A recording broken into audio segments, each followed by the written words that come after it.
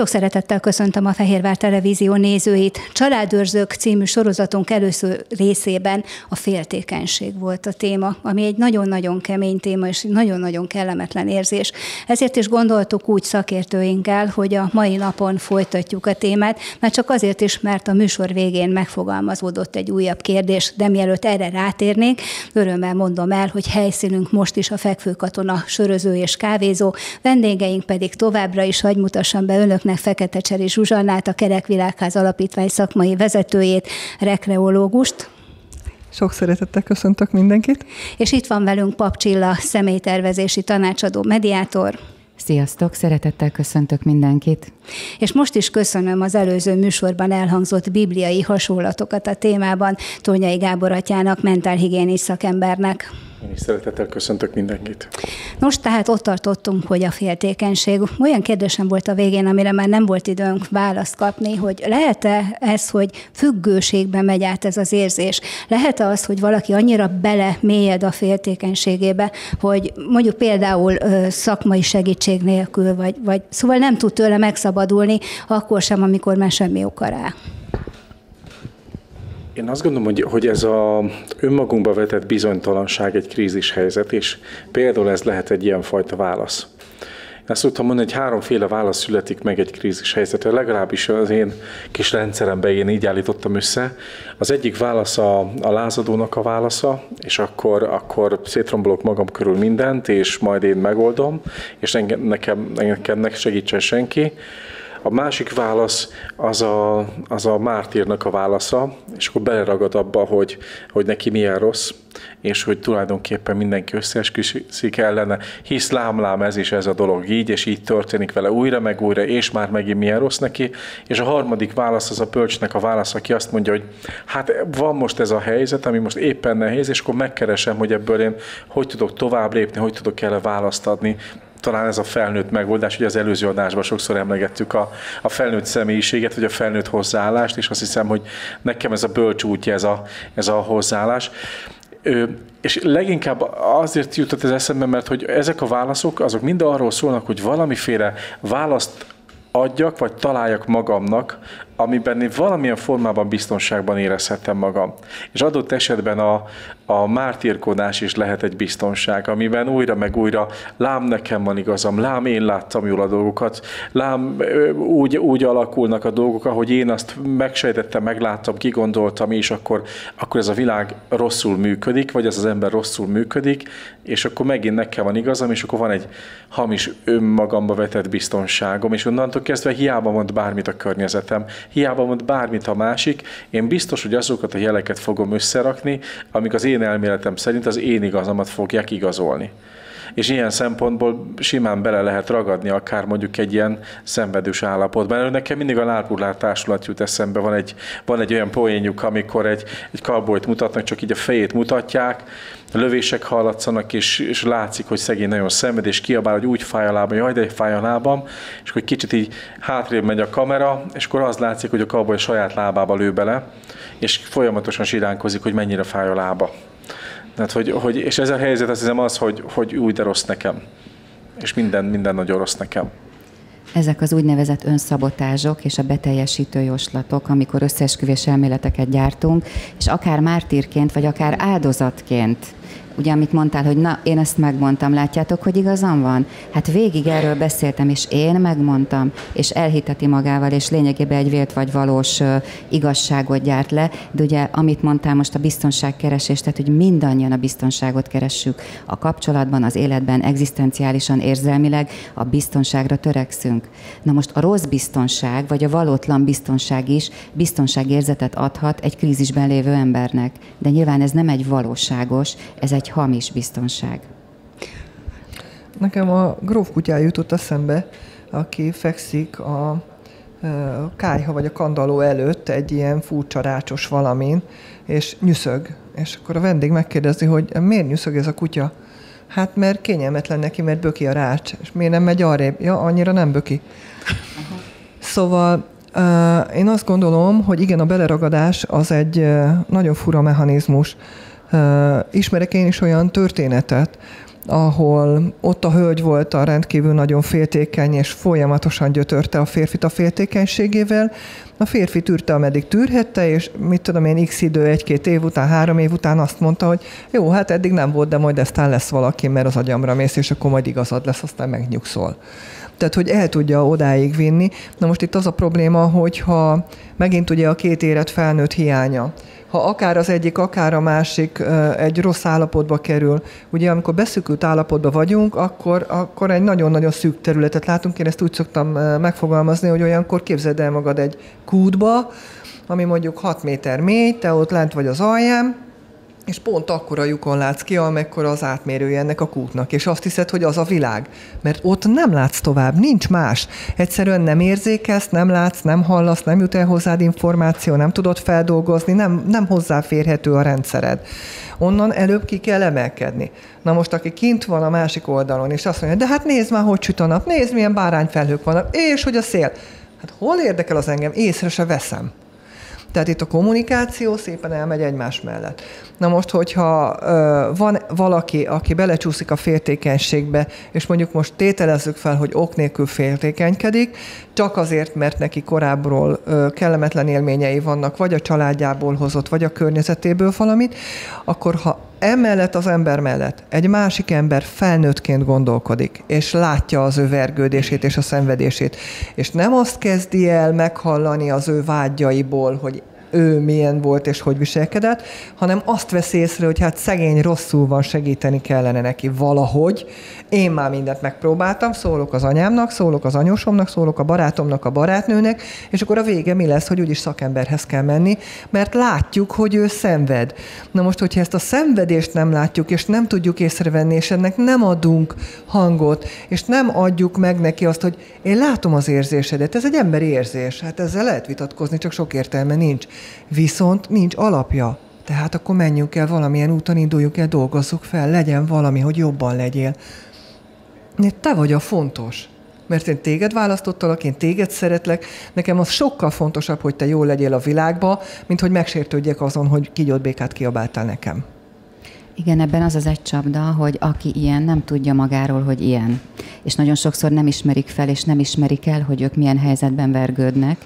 És lehet, hogy a külvilág segítene, jó tanácsokat, vagy jó szakember tenne oda, de azt mondja, hogy neki nincs baja, nekem nincs semmi problémám, hát miattad vagyok ilyen, te csinálod. Tehát folyamatosan projektál, rávetíti, úgymond ráhátékázza az összes negatívumot, és nem tud szembesülni azzal, ugye milyen szép a magyar nyelv, hogy szembesül azzal, hogy nála van a csont, tehát hogy neki nem működik, és neki kéne lépni. Ugyanez, amikor valaki már bocsánat, de alkoholfüggő, és azt mondja, hogy én nem vagyok alkoholista, csak szeretem a sört, vagy szeretem a bort.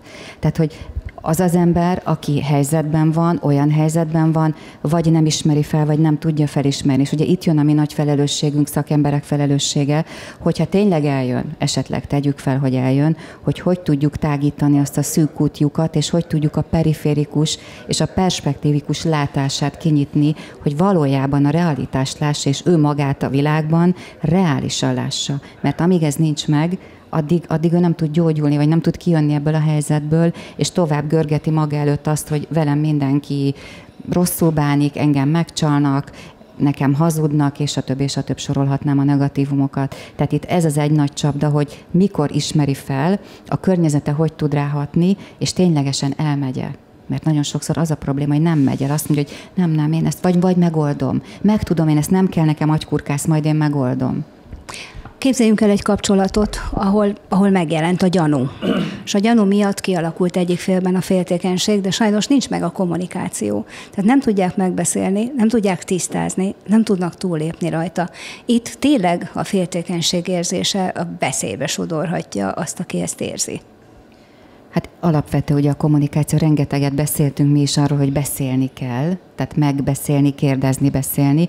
Aki nem meri megkérdezni, de felmerült benne a gyanú, ott nagy a valószínűség, hogy szinte már biztosan tudja, de fél a választól. Fél attól, hogy milyen választ kap, és Tudod, nem milyenkor a válasz? Ugyan hagyjál már Igen, ez nem féltékeny vagy. Ez ugye nem válasz, ez egy, ez egy lehasítás, ez egy eltolás, egy hárítási mechanizmus egyike, mert nem azt mondja, hogy jó, üljünk le, tényleg vannak ilyen, ilyen helyzetek a kapcsolatunkban, nekem elegem van abból, vagy nem tetszik az, vagy szerintem változtatni kéne azon, de mindkettőnknek, mert azért azt is szeretném kihangsúlyozni, hogy nem egy emberem múlik. Tehát itt ketten vagyunk egy kapcsolatban. Hát igen, hogyha ez ok nélkül történik, akkor valami félreértés van a helyzetben. Azt meg csak kommunikációval lehet tisztázni. Tehát, hogyha én azt hiszem, hogy te azért vonulsz ki, amikor felveszed a telefont nagy hirtelen a vacsora végén, anélkül, hogy Isten igazándiból meg tudtuk volna beszélni a dolgot, mert hogy valami titkos dolog történik, akkor én ebbe bármit beleképzelhetek, belebeszélhetek, és önigazolásokat gyárthatok magamnak rengeteget. Hát ebbe brilliánsak vagyunk, hogy ez ezért történt, az azért, az amazért, és köze nincs a valósághoz. Ez olyan realitásvesztés, hogy na még. Ahelyett, hogy egész egyszerűen megkérdezném, hogy hát drágám, mi történt? És akkor kiderül, hogy valamelyik haverja hívta fel valami ökörséggel, és akkor meglepetés készül a nem tudom én kinek. Tehát most teljesen mindegy, bagatel, akármi, de ugye egy pici dologból a képzelet, az tudjuk a varázslatos világot, bármit képes Ugye az összeesküvés elméleteink is így születtek meg, hogy van egy látszólag bizonytalanak tűnő világ, és abban a rendszert szeretnénk felépíteni, mert abban biztonságban érezzük magunkat, hogy itt szó volt többször a biztonságról. És azt gondolom, hogy csak ugyanezt akarom én is megerősíteni, hogy én bennem is ez, ez mozog, hogy, hogy onnan tudom, hogy hogy, hogy mennyire szükség van arra, hogy, hogy, hogy megosszuk egymással azt, ami bennünk van. Én ezt szintén így szoktam így egyes párknak mondani, hogy, hogy annyira fontos, hogy egyet értőek legyünk, tehát hogy egy értelmeg legyünk egymás számára, mert hogy, hogy egészen különböző kultúrából, helyzetből érkezünk az a szó nem biztos, hogy mindenkinek ugyanazt jelenti, amit jelent. Az a gesztus nem biztos, hogy pedig magyarul beszélünk, pedig ugyanazokat a gesztusokat használjuk. De hogyha ha nem értem a másikat, illetve a saját értelmezési készletemmel próbálom értelmezni a másik dolgait, annak az a csapdája, hogy az az én értelmezésem, és nem a másiké. És szerintem ez, én azt gondolom, hogy ezért is fontos az, hogy a, amit szintén itt így elhangzott, ha van bennem egy bizonytalanság, hogy vajon én jól értem-e, akkor, akkor inkább kérdezzem meg, hogy érte, jól értettem azt, amit csinálsz, jól értettem azt, amit mondasz, mert akkor onnantól kezdve értem. És lehet, hogy nekem volt igazam, és tényleg jól értettem azt, amit a másik csinált, vagy mondott, de az is lehet, hogy, hogy, hogy a saját értelmezésem szempontjából próbáltam, próbálok valami választ adni a adott helyzetre, és közben a másik egészen máshol van. Tehát tudok olyan párokról, hogy, hogy, hogy egy egész, napot, egy egész napon keresztül összevesztek, és kiderült, hogy az egyik ezen sértődött meg, a másik azon sértődött meg, és azt gondolta, hogy ő, ő is ezen sértődik meg, és ezt mondta, a másik meg azt gondolta, hogy az, és két külön, egészen külön dologon sértődtek meg, aztán persze tudták rendezni, csak így ilyen vicces volt ezt így hallani utólag, hála Istennek vicces volt hallani, és nem ment tovább ez a dolog, de hogy ilyen érdekes volt, hogy, hogy én azt gondoltam, hogy azért csináltad, én meg azért voltam haragudtam rád, mert azt gondoltam, hogy én azt gondoltam, hogy és akkor és hogyha nincs kimondva, kibeszélve, átbeszélve, hogy értsem a másikat, akkor, akkor nagyon szépen el tudunk csúszni egymás mellett. És a legrosszabb ezekben a helyzetekben azt gondolom az, hogy olyanok, mint a hajszárepedés. Tehát, hogy, hogy, hogy most minek mondjam neki, hát ez tényleg semmi de legközelebb már, már megint, és aztán még inkább, és aztán utána rakódnak egymásra, és onnantól kezdve elkezd, el, elindul az eltávolodás egymástól. És onnantól kezdve lehet, hogy külsőleg rendben van minden, a maga menetrendjében, ritmusában működik minden, de, de a belső eltávolodás meg elindul. És Tényleg visszafordítható ez a folyamat? Tehát teszem azt, hogyha le tudja küzdeni a féltékeny fél. Lehet, hogy igaza is volt, lehet, hogy nem volt véletlen, de mégis eljutnak odáig, hogy megbeszélik. Fognak tudni bízni egymásba? Vagy a féltékenység ott marad? Nekem már így harmadjára jön fel ebben a beszélgetésben az, hogy féltékenység. Megint kinek hol van a határ? Ugye vannak házaspárok, ahol teljesen természetes, ha összejön egy baráti társaság, akkor mindenki mindenkivel összeülelkezik, puszi, puszi, meglapogatjuk egymást, fiúk lányokkal, lányok fiúkkal, vegyesen mindenki kezet fog, és nagyon jól érezzük magunkat ebben a helyzetben. De ha valaki egy másik családból jön, és ő náluk ez nem divat, ő ebben nem érzi komfortosan magát, akkor ő bizony ezt nagyon könnyen félre magyarázhatja, hogy na, vagy elmegyünk egy bálba, egy esküvőn, egy lakodalomba, és te hogy táncoltál azzal?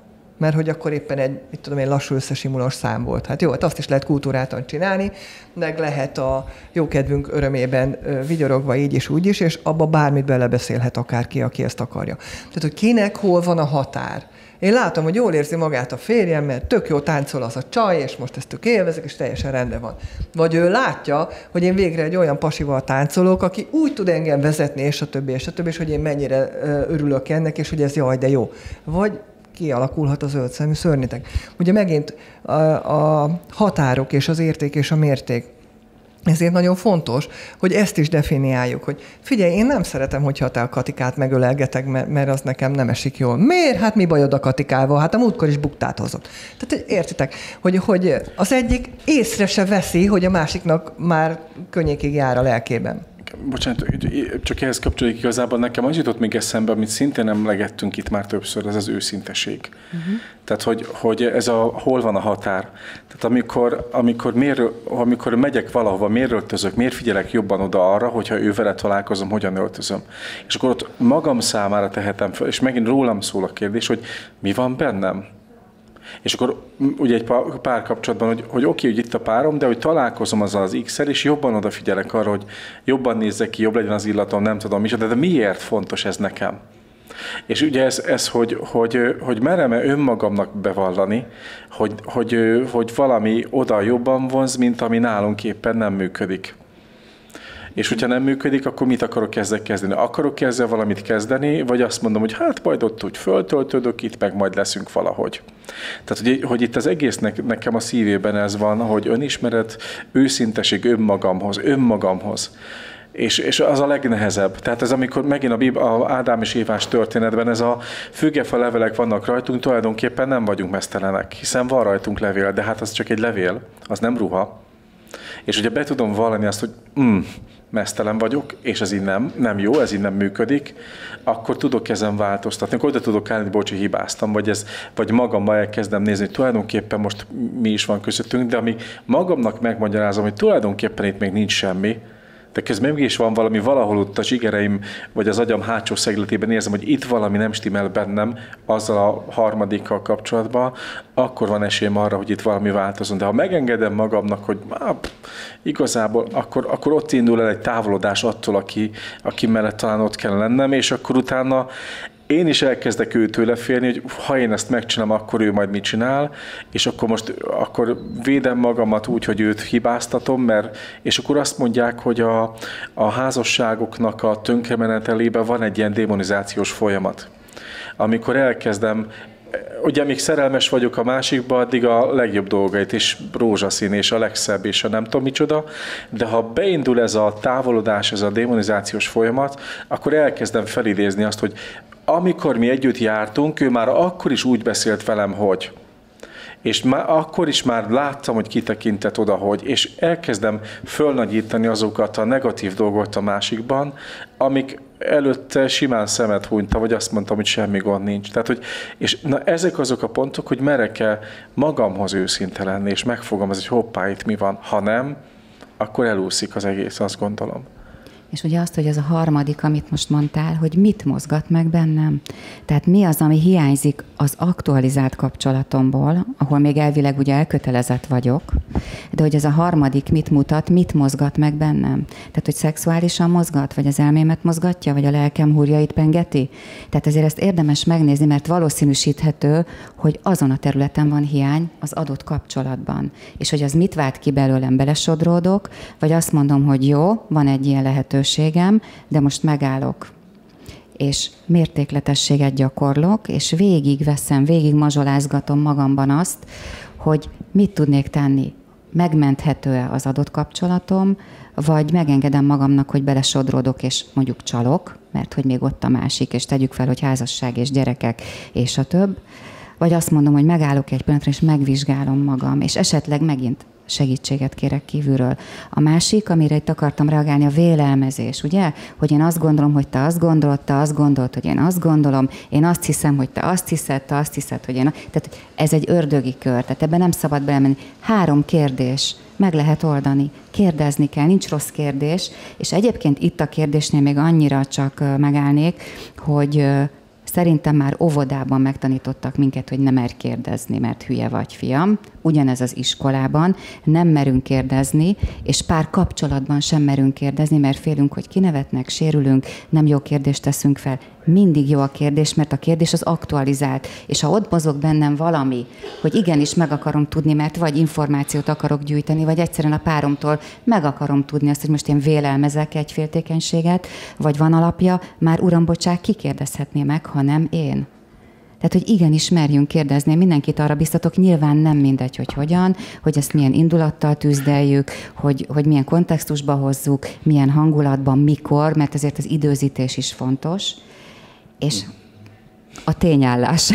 Én azt hiszem, hogy lehet, hogy egy külön műsort megérne egyébként a, a kérdezés-beszélgetés kultúrája, mert ez azt hiszem nagyon fontos lenne, hogy, hogy ezt valahogy elővegyük. Akár most így ebben a témában, de ugye általában a, a kapcsolaton belül, hogy ezekre, ezekről tudjunk beszélni. Nekem mindig a válaszok vannak meg, tehát egy ilyen kérdés után jöhet egy olyan válasz, hogy már magadból indulsz ki, és hogy azért, vagy, Igen, csak ez vagy, egy vagy jöhet egy, egy újabb támadás, tehát ez lehet, hogy a kérdező azért fél, mert, mert a, a válaszadó szokása szerint visszatámad ezzel véde önmagát, mert ugye tudjuk, hogy legnagyobb véde, legjobb védekezés a, a támadás, és ezek Ez a már a játszmák, játszma, amiből nagyon nehéz ki, kimászni. Nem.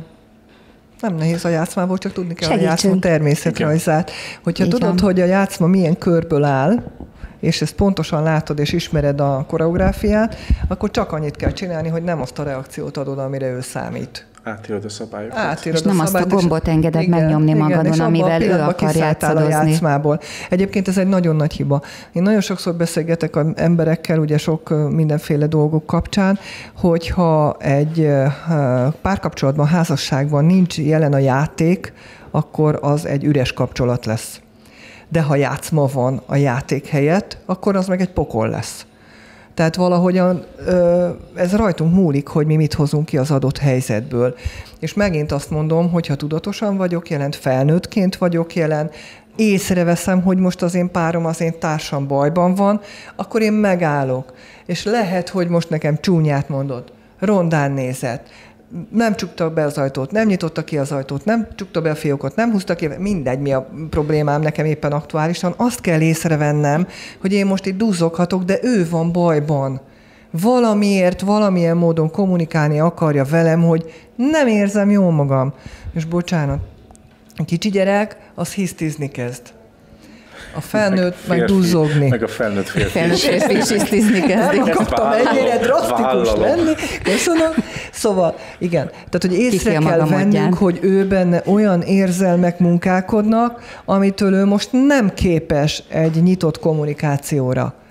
És akkor nekem kell őt átemelni a küszöbön, vagy humorral, vagy tudva azt, hogy ő mitől nyugszik meg, vagy kivezetni ebből a helyzetből, azt mondani, hogy jó, látom, hogy most pocsékul érzed magad, figyelj, van egy ötletem, főzök egy kávét, menjünk ki a teraszra, nézzük meg, hogy mit tudom én, süte a nap, és akkor ha jobb kedvünk van, megbeszéljük, de egyelőre csak úgy legyünk csendbe. És ez működik. Tehát ha én tudom, ha én ismerem a páromat, Hát de hát ez az kell, hogy én ismerjem, hogy én tudjam, hogy ő mitől lesz jobban, hogy én tudjam azt, hogy ő mitől érzi magát megértetnek. Mert akkor biztonságban érzi magát, ha őt megértették. És akarjam is, hogy jobban érezze magát, Így van. mert ez, ez sem mellékes. Bizony. De ugye ahhoz, hogy ismerjem a páromat, ismerni kell önmagam, a saját céljaimat, a motivációmat abban a kapcsolatban. És még annyi, hogy a párkapcsolat kultúráját ugye mi írjuk, amikor te és én párkapcsolatot alakítunk, akkor mi írjuk a kultúráját, szabályokat, a hagyományainkat, a szokásainkat, azt, hogy mi fér bele, meddig fér bele, amit mondtál, a tánci-tánci, a puszi, a lapolgatás, a nem tudom én, összeborulás, tehát hogy ezt mi határozzuk meg az elején. És ha az elején én belementem abba, hogy mondjuk egy egész lagzi népét megtáncoltathatja a férjem, akkor nyilvánvaló, hogy utána már hiába csicsorgok, akkor az kapcsolat elején ebben állapodtunk meg. Persze felül lehet írni, ha nekem rosszul esik, de nem fogja érteni, hogy ha az tíz évig mehetett úgy, akkor a tizenegyedik évben miért nem? Minden esetre legjobb, hogyha elkerül bennünket az a bizonyos zöld szörnyeteg, Arról nem beszéltünk még, hogy hogy hat mindez a szülők féltékenykedése a gyerekekre. Nagyon fontos kérdés, és hogy mennyire befolyásolja majd személyiségük alakulását. Erről már egy hét múlva beszélgetünk. Nagyon köszönöm vendégeinknek, Fekete Cseri Zsuzsannának, Pap Csillának és Tornyai Gábornak a mai beszélgetést, és köszönjük a helyszínnek, ahol most is nagyon jól éreztük magunkat a Fekvő Katona Söröző és Kávézónak, és nagyon-nagyon köszönjük a nézőknek, hogy itt voltak velünk, hogy együtt töltöttük az elmúlt 25 percet. Viszontlátásra!